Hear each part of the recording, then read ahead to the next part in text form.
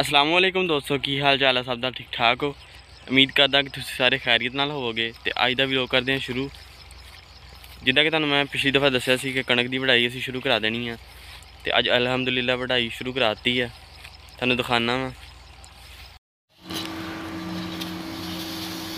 ਮਾਸ਼ਾਅੱਲਾ, ਕਣਕ ਵੱਢ ਹੋ ਰਹੀ ਹੈ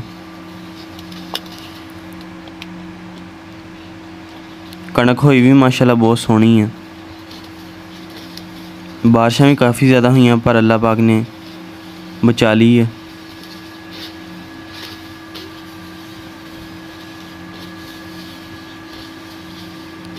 ਇਹ ਵੱਢਣੀ ਦਰਅਸਲ ਔਖੀ ਆ। ਅਗਰ ਤੇ ਜ਼ਮੀਨ ਗਿੱਲੀ ਆ, ਫਿਰ ਤੇ ਬਹੁਤ ਜ਼ਿਆਦਾ ਔਖੀ ਆ।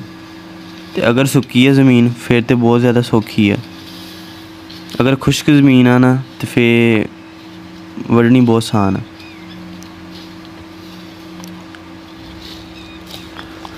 ਤੁਹਾਨੂੰ ਮੈਂ ਦਾਣੇ ਕੱਢ ਕੇ ਦਿਖਾਣਾ ਵਿੱਚੋਂ ਕਿਦਾਂ ਦੇ ਹੋਏ ਆ।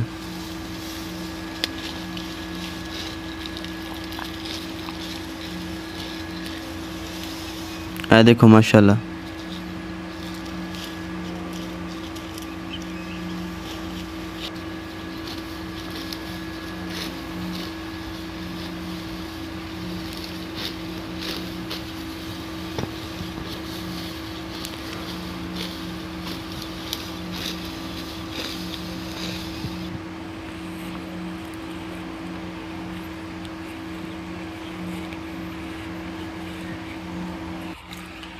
ਮਾਸ਼ਾਅੱਲਾ ਅੱਧੀ ਤੋਂ ਜ਼ਿਆਦਾ ਜਿਹੜੀ ਨਾ ਵੱਢ ਹੋ ਗਈ ਹੈ ਬਸ ਪਿੱਛੇ ਥੋੜੀ ਹੀ ਰਹਿ ਗਈ ਹੈ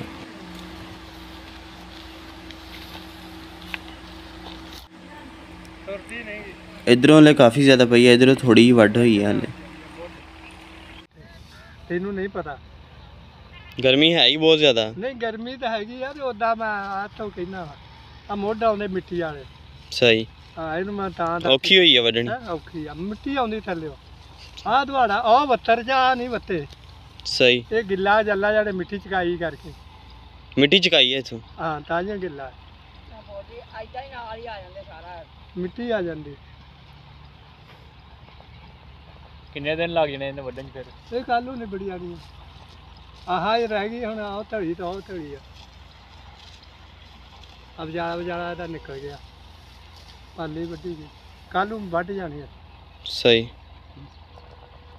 ਚਲ ਇੱਧਰ ਵੀ ਆਪਣੀ ਕਣਕ ਵੱਢ ਹੋ ਰਹੀ ਹੈ ਇੰਨੀ ਕੁ ਰਹਿ ਗਈ ਹੈ ਬਾਕੀ ਉਹ ਅਗਲਾ ਦਵਾੜ ਆ, ਉਹ ਕੱਲ ਨੂੰ ਵੱਢ ਹੋਏਗਾ।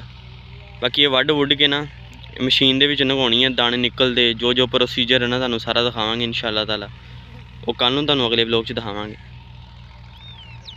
ਸਭ ਗਰਮੀ ਬਹੁਤ ਹੀ ਜ਼ਿਆਦਾ ਵਾ। ਕੱਲ ਤੇ ਜਿਹੜੀ ਹੈਗੀ ਹੈਗੀ ਸੀ, ਅੱਜ ਉਸ ਤੋਂ ਵੀ ਜ਼ਿਆਦਾ ਵਾ।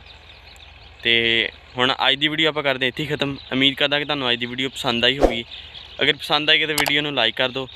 ਚੈਨਲ ਨੂੰ ਸਬਸਕ੍ਰਾਈਬ ਕਰ ਦਿਓ ਤੇ ਬੈਲ ਆਈਕਨ ਨੂੰ ਜਾ ਕੇ ਪ੍ਰੈਸ ਕਰ ਦਿਓ ਓਕੇ ਬਾਏ ਮਿਲਦੇ ਹਾਂ ਅਗਲੇ ਵਲੌਗ 'ਚ Haroon Millionaire. Village Vlogs. subscribe, Like. share.